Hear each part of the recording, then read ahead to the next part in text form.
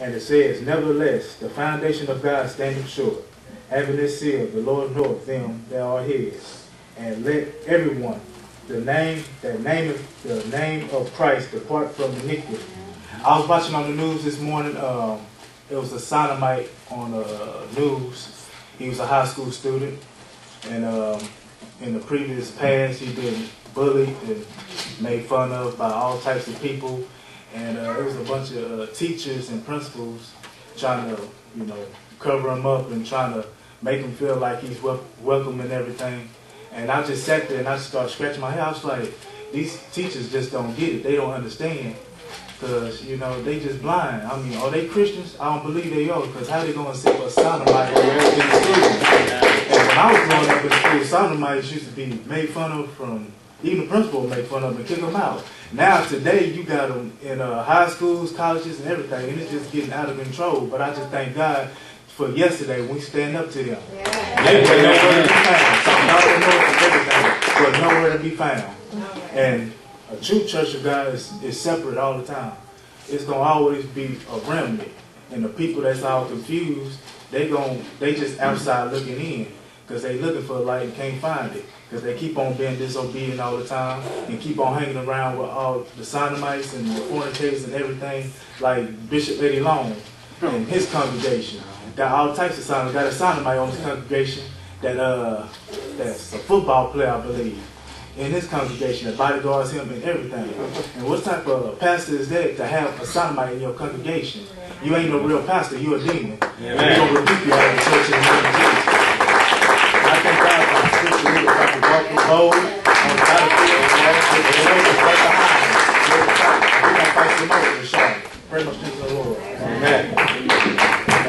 Praise the Lord, saint. Praise the Lord. God is good. I give all honor to Jesus Christ, who's the head of my life, and a great God, the one true living God, the Savior of all men, especially those that believe. I give all honor due to our great and fearless leader, Apostle, Prophet Bishop H. Walker, who leading true light, the truth in the battle yesterday in Atlanta, and we stepped there victorious. And you know, the prophet got so many nasty emails and death threats. But we made a promise. We said we was gonna be there. Where was Sodomite? Where are you at? With your rainbow flag and your pink flag and your big mouth and your threats. Where were you at yesterday? True light, we had a end in the bargain. Where were you?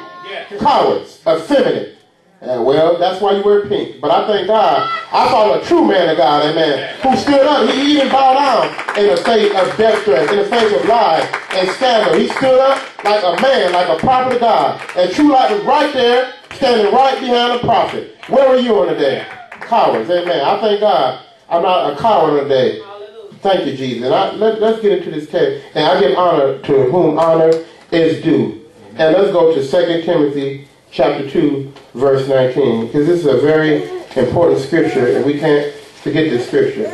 Because it applies to all those who claim to be saved. 2 Timothy 2 and 19. Nevertheless, the foundation of God standeth sure. The Lord having this seal.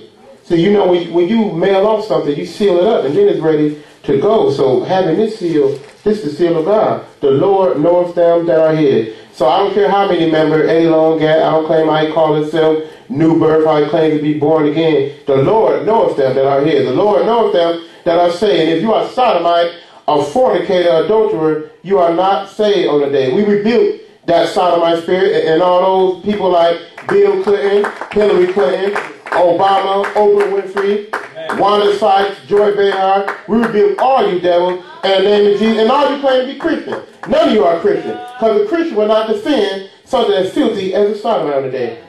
Let everyone in name of the name of Christ depart from iniquity. And I want to quickly go to Ephesians, the fifth chapter, and it begin at verse 3. But fornication and all uncleanness, uh, sodomy, uh, lesbianism, uncovetousness, let it not be named once among you as becoming saints. So how can Eddie Long sodomize boys every day for over 20 years and claim to be saved on day? I thank God for the one minister who joined us from the Atlanta area. It truly was a blessing and Jesus, man. We had a good time. You know, newspaper lady, you want to lie about numbers, but it's not about numbers. It's not about quantity. It's about quality. Now, people out there ask me this: How many did Jesus have? Pray my strength for the Lord. Praise the Lord, saints. Praise the Lord, saints. God is very ready to be. I give all honor to the Lord Jesus Christ this day, who's the head of my life. Glory to God. The wonderful God. Also, a double women honor to our time talk on Prophet Prophet H. Walker. Glory.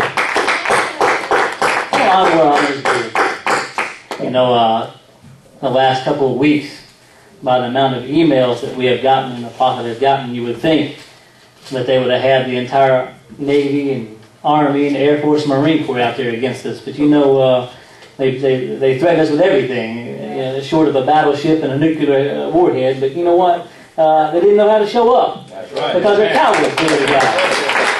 You know how? You know why? You know how I know that, that, that, that they're not saved? Because God never never saved a coward. God never had nothing to do with a coward. Hallelujah. right. But I want to go into Second Timothy, uh, second chapter, verse 19. Nevertheless, the foundation of God stands assured, having this seal. The Lord, the Lord knows them that are His. That's the seal. Yeah. But you know, He also knows them that are not His. Them that are not His, certainly is a sodomite. Did He call it an abomination? Glory to God. Hallelujah. Did He say it was shameful? Hallelujah. So those are not His. They don't have nothing to do with Him. And let everyone that names the name of Christ depart from iniquity. You know, you call yourself a pastor, Eddie Long, but you never departed from iniquity. You named the name of Christ, but why didn't you depart from iniquity? You're still in sin. Yes. So he said he knows those who are his, but he also knows those who are not his. So we have to understand, you know, once you claim to be a Christian, you got to follow this Christian word. You got to follow the word of God, called the Bible. Hallelujah. You got to follow it. It's it's called obedience. You know, if you could obey this word, my goodness, you, you wouldn't have no problem. But the problem is they don't don't teach obedience in the pulpit today. They don't teach they don't teach uh, real doctrine in the in the pulpit today. Don't teach any of that. Why? Because all money. I want this. I want that. I need me a new car. I need me a new Bentley. I need me a new house. My wife needs a new fur coat. I need this. I need that. What about the people? What do the people need? Hallelujah. What about the people, Lord of God? It's not about the pastor in that respect. It's about the pastor that's leading you, yes. But it's not about the pastor in that respect with wealth. My goodness, God didn't call a pastor to be a pastor so he could gain money from the people. Glory to God. He called him to teach the people, to guide the people into the heavenly kingdom. How can you guide anybody anywhere if you're blind? Hallelujah. The Word of God says, you know, the blind shall be the blind, the both shall what, stumble and fall. They both will fall into the ditch. Why? Because the one leading you, he can't see. He can't go nowhere. Hallelujah. So I, I say this. He knows those who are his. And he went on to say, let everyone that names the name of Christ depart from iniquity. You got to depart from it. Yeah. And those in you too, you got to depart from it. You can't, you can't continue being a filthy old rag. I don't care what the pastor tells you. You cannot continue being a filthy old rag. You got to clean your act up. And the only way to do that is to be washed by the blood of Jesus. Pray my strength from the Lord. Praise the Lord, true light. I said, praise the Lord, true light. Oh, it feels good to be victorious today. Amen. Hallelujah. Lord, first and foremost, once again, uh, giving all glory, honor, and praise to Jesus Christ, the Most High God, the Creator. Amen. Giving honor to our leader, a true man of God, as you saw in Atlanta, Bishop H. Walker. Hallelujah. A true overseer for the whole church of God. That's a whole, for the whole world. Come on in. Amen. And I'm giving honor to all my brothers and sisters in Christ. And I greet you in that precious name of Jesus Christ.